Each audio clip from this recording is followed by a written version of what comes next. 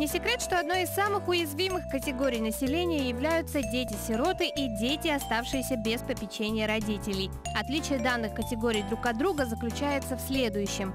Дети-сироты, у которых единственный или оба родителя умерли в возрасте до 18 лет. Ребенок, оставшийся без попечения родителей, это ребенок, у которого оба или единственный родитель лишены родительских прав. Либо пропали, либо находятся в местах лишения свободы, или по каким-либо другим причинам уклоняются от воспитания ребенка.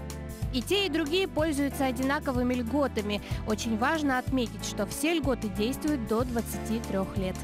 Одной из важнейших социальных гарантий для детей-сирот и детей, оставшихся без попечения родителей, является обеспечение жилым помещением. На сегодняшний день э, детям-сиротам и детям, оставшимся без попечения родителей, полагается однократно в порядке очередности благоустроенное жилое помещение площадью от 24 до 38 квадратных метров – Относительно новым в законодательстве является то, что жилое помещение должно быть предоставлено по месту жительства ребенка. Квартиру предоставляют сроком на 5 лет. После истечения данного срока квартиру можно приватизировать. Следует отметить, что встать в очередь необходимо до 23 лет. После этого возраста данная процедура возможна только по решению суда при наличии уважительных причин.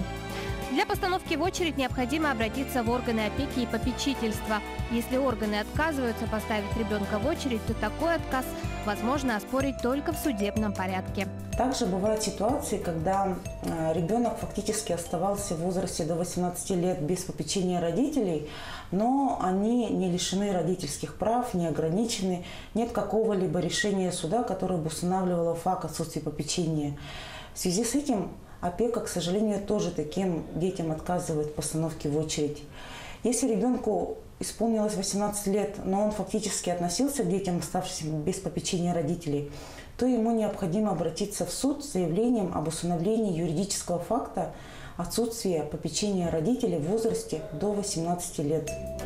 Если решение суда будет положительным, то органы опеки и попечительства поставят ребенка на основании данного решения в очередь для получения квартиры по месту жительства. Для данной категории в последнее время довольно быстро строятся дома. В среднем ожидание сократилось до трех лет.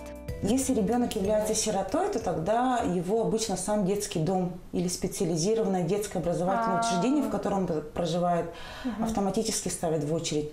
Если ребенок остался без попечения родителей, например, родители лишены родительских прав или ограничены в правах, или они находятся в тюрьме и имеется какое-то решение суда, устанавливающее факт отсутствия попечения, то он сам должен обратиться до 23 лет в органы опеки попечительства и стать в очередь. К сожалению, очень много ситуаций, когда дети пропускают срок обращения в органы опеки и попечительства. Обращаются после 23 лет, пытаются в судебном порядке установить сам факт отсутствия попечения.